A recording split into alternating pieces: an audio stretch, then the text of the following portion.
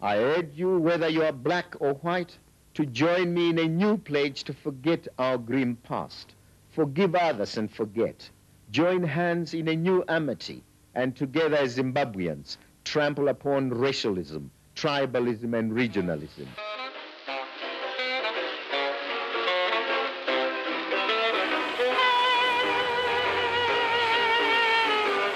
We are delivering democracy in platter.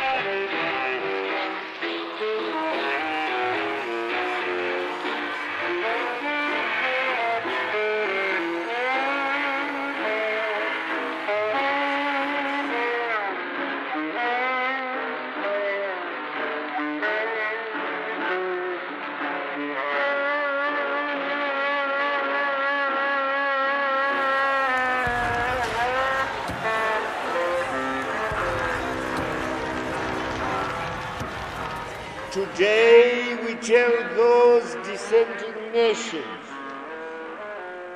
that the days of colonialism and neo-colonialism are gone and gone forever.